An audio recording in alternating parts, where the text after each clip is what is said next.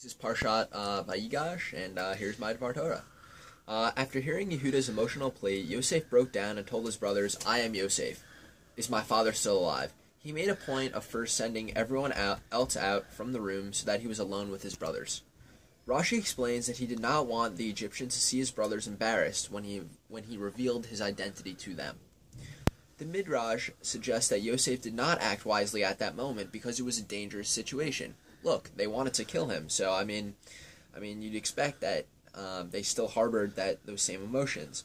After all, the after all, the brothers and him had a history exactly. So they could try to kill him again, and there would be no problem.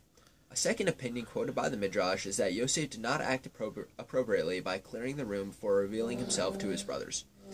He was confident his brothers would not kill him.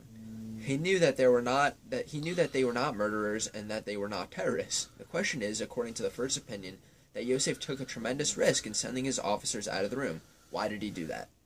The answer is that Yosef was acting based on the principle is it preferable for a person to throw himself into a fiery furnace rather than to embarrass his fellow man publicly?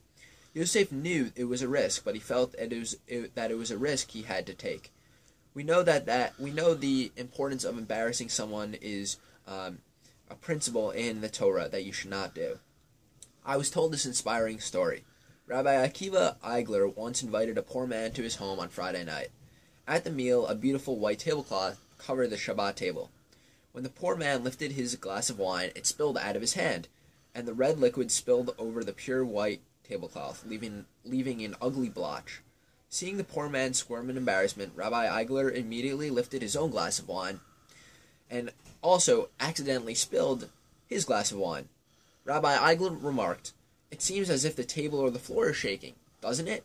He had been willing to make himself look careless and to soil a nice tablecloth to spare the shame of others. We must always remember not to embarrass people, but rather greet them with a smile and always go that extra mile for our friends and even people we do not know. Shabbat Shalom.